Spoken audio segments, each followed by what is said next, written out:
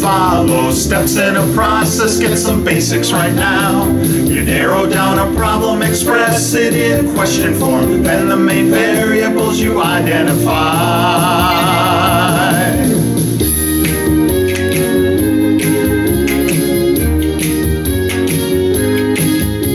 The independent variable's the one you test or manipulate. Dependent variable's the measure in response to what you change. Don't forget all the constants, the things you must keep the same. So you are just testing that one thing that you changed.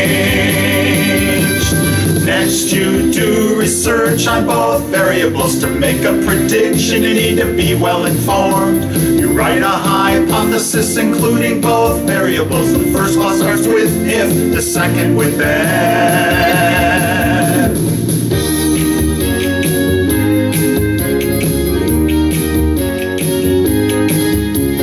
Gather your materials and think of the steps you will follow. Procedures and start by making your data table. It must have labels and units. Now you can experiment. Present your results in tables and graphs.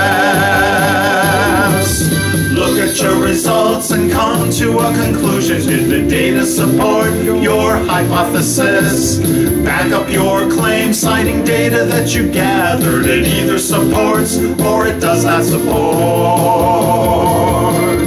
Point out where you had experimental errors that could have affected the outcomes you got. Name some things you do a little differently if you repeated this experiment. You're off to a great start.